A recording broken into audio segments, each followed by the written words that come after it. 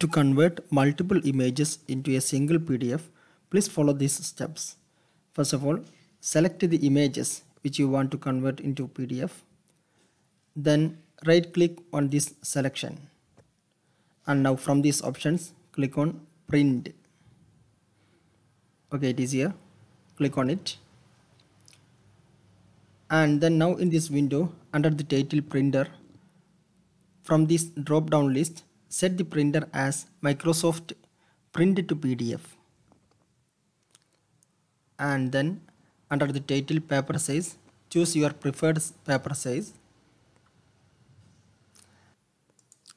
Now here below remove checkmark from this box towards this option fit pictures to frames.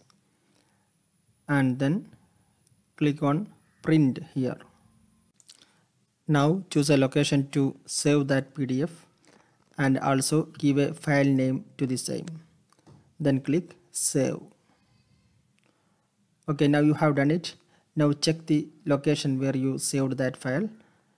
Okay it is here. I hope this information will help you. Thank you for watching this video by itech tips